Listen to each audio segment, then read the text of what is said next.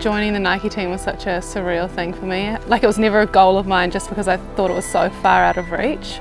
But then like when my manager called me and was like, yeah, you've got a meeting with Nike, I was like flipping out. It was great. Um, you know, I never really had thought about that growing up, designing my own shoes, but you always saw guys doing it, Michael Jordan and Kobe Bryant and guys like that, and you always looked up to it and said, you know, they got some amazing shoes and realized they got to design their own was, was awesome. And um, having this opportunity, it was sort of surreal when I got told about it. Definitely going to be rocking these on the court come Tall Blacks time and you know, representing my country.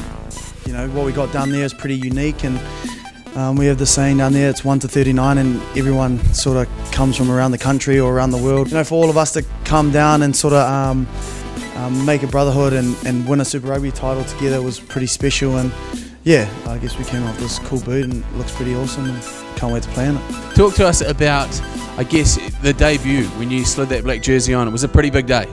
Um, as I put the jersey on and sort of every game I, I go to the, the basin and I, I splash my face twice with um, water and I sort of looked up and you know I looked back at the mirror and I was just like taken back by what I saw back and it was everything that he had dreamed of and you know I just felt like a superhero and um, hopefully I get to feel like a superhero again in this campaign and see what happens. It was a very exciting process. Um, I think what overwhelmed me was just the amount of choice that you get on the website in terms of colour, um, the design of shoe. Yeah, there's so many things that can really make it your own and then you have your little Nike ID that you can customise on the, on the tag.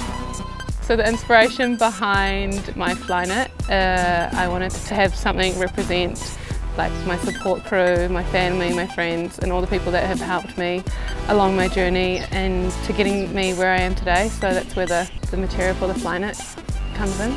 Obviously I wanted to incorporate um, the black dress that I represent my country in, which is a honour and a privilege and something that um, I hold dearly in my heart. And obviously, yeah, the silver medal that we won at the World Cup last year, you know, it's not gold, but um, it's just a little reminder that um, I have so much more to work for and that I still have goals to achieve. It's really just the colours, you know, obviously playing for New Zealand and represent my country. Um, it was always a dream of mine and so you know, incorporated that into the shoe with the colouring. Our jerseys are black and white, obviously. And I think it's a great colour for shoes as well. Some feathers here, and I got to join the New Orleans Pelicans for their preseason and their training camp, which was, you know, was a dream come true. Obviously, since a little boy. This represents Meadowbank Primary School, which was my first um, encounter with netball um, and where I fell in love with the game, I guess. I think what stood out for me was the fact that I got to play with my friends and be in, like, uh, be in a team environment and get to share memories and success with my friends and other girls that just love netball as well.